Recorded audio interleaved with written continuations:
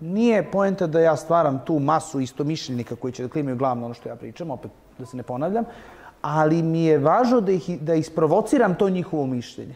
Da vidim, ukoliko je nekakva tema koja ima i projet kontra, da se prosto čuju obe strane. To što ja smatram da je recimo ovaj, eh, na Drini Ćupri jedna fenomenalna lektira, nekom đaku kojem ta lektira nije možda dovoljno legla u momentu kada je čitao, ovaj, interesovaće me šta on ima da kaže. Naravno, argumentacija mora da ti bude dobra.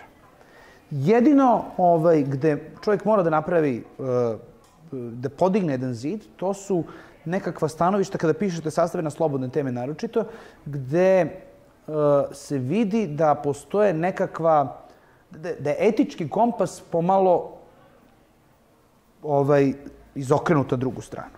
Dakle, da to nije, da su to mišljenja koje su duboko problematične.